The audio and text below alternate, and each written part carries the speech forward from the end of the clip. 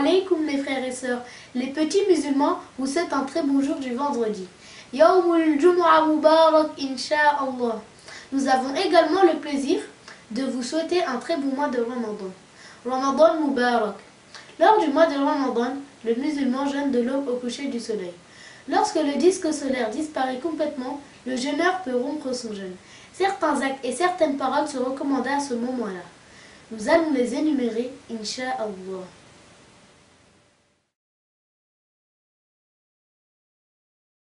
Tout d'abord, il est recommandé de s'empresser de rompre le jeûne, après s'être assuré du coucher du soleil, comme nous l'indique la parole du prophète Mohammed sallallahu alayhi wa sallam. La nasu bi fit. Ce qui a pour sens, les gens demeurent dans le bien tant qu'ils s'empressent de rompre le jeûne.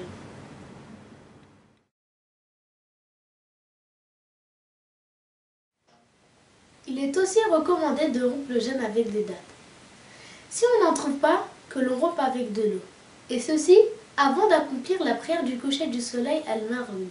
En effet, le prophète Mohammed sallallahu alayhi wa sallam a dit إذا أفطر أحدكم فليفطر على التمر فإن لم يجد فليفطر على الماء فإنه طهور Ce qui a pour sens, lorsque l'un de vous rompt le jeûne, qu'il le rompe avec des dates. S'il n'en trouve pas, qu'il le rompe avec de l'eau, car elle est pure. Rapporté par Abu Daoud que Allah l'agrée.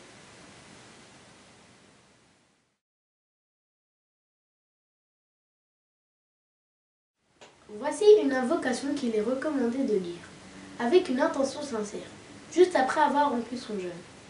Allahumma laka sunt wa ala rizqika aftar. ذهب الظن وابتلت العروق وثبت الأجر إن شاء الله. Ce qui a pour sens, Oh Allah, par recherche de ton agrément, j'ai jeûné. Et c'est avec la subsistance que tu m'accordes que j'ai rompu le jeûne. La soif est partie, les veines sont irriguées, et la récompense est confirmée si Allah le veut.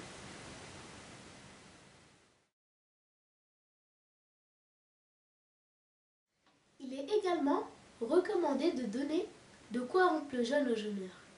At-Tirmidhi a rapporté que le messager de Allah sallallahu alayhi wa sallam a dit Man fatara sa'iman kana lahu mithlu ajrihi ghayra annahu la yanquthu min ajri sa'imi. Ce qui a pour sens, celui qui donne à rompre son jeûne au jeûneur aura une grande récompense, sans que la récompense du jeûneur ne soit en rien diminuée.